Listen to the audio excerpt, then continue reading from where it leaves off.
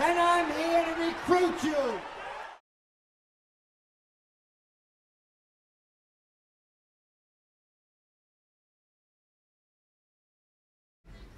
Harvey Milk was the first openly gay elected official in the USA in the 1970s. Back then, gay people had to go into hiding because they had no rights. Children started to go suicidal because they couldn't be themselves. Harvey Milk helped them through it and allowed them to come out and show their real selves. Proposition 6 was a ballot that said to fire all gay workers in California public schools or people who supported gay rights. Harvey Milk helped them defeat the proposition. The proposition made people riot in the streets, but people still voted against it.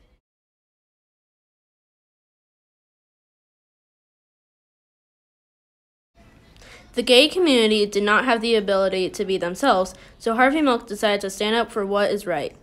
Gay rights activists protested strongly against the official position of the American Psychiatric Association which categorized homosexuality as a mental illness. There was a proposition to fire all gay workers. Bahar Hansen said even though the LGBTQ community has made significant gains in the last 40 years, many of the students still don't feel safe because of their queer identities. Harvey Milk fought every difficulty in his way. He gave people a voice and allowed them to come out. Harvey Milk gave a speech. Here is a little clip.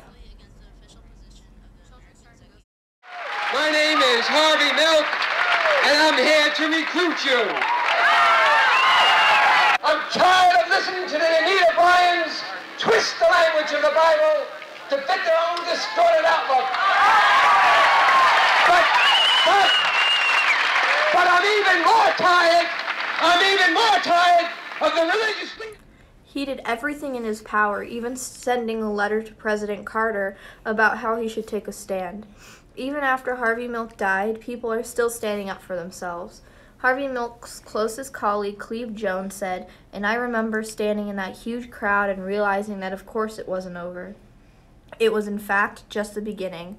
Harvey Milk fought to destroy anti-gay stereotypes, and queer people are still fighting today. Daniel James White was born September 2nd, 1946. He is known for assassinating Harvey Milk and George Moscone. Dan used the Twinkie defense in court, which is when you blame eating too much junk food on your actions. But records from the case never say anything about his sweet mental illness. Only the press exaggerated that fact. White planned on killing two others but he didn't make it in time. Harvey Milk encourages interested people to come out of the closet and also get their family members to support them. He is still influencing people to stand up for the gay community. Also, there have been more and more openly LGBTQ people in office since Milk.